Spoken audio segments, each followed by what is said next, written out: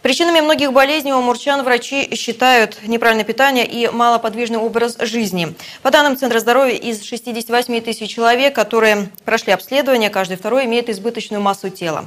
У каждого пятого повышен уровень содержания сахара в крови. Татьяна Тоскаева подробнее о принципе работы таких центров здоровья.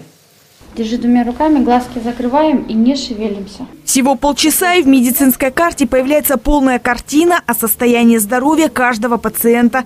В одном месте проверяют сердечную и дыхательную системы, состояние сосудов, воды и жира в организме. И это только начало списка.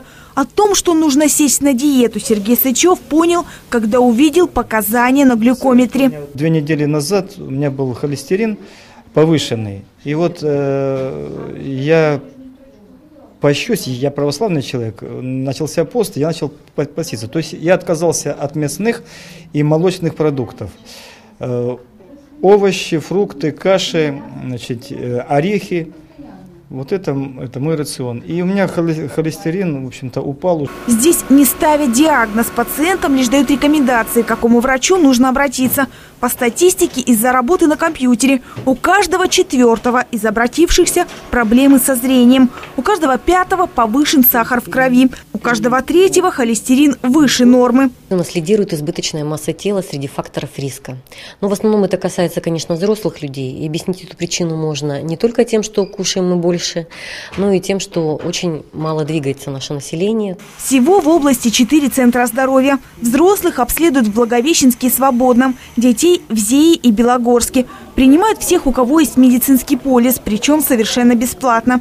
Обследование – это только первая ступень. Если необходимо, те, у кого, к примеру, болят зубы, посещают стоматолога.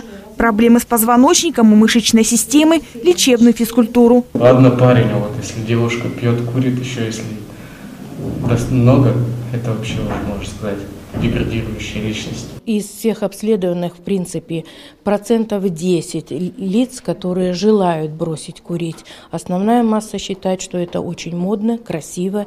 Дети и студенты, особенно средних, средних э, учебных заведений, они считают, что это, так сказать, крик моды, и они становятся взрослыми, э, видя себя с сигаретой. Вся аппаратура в Центре здоровья поступила по федеральной программе.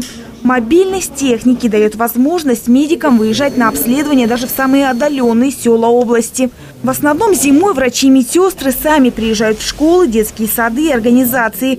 В Белогорске для этого есть специальный автобус здоровья.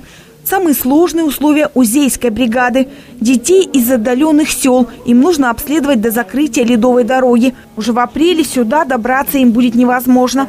Кстати, чтобы обследовать взрослых, достаточно желания самого пациента.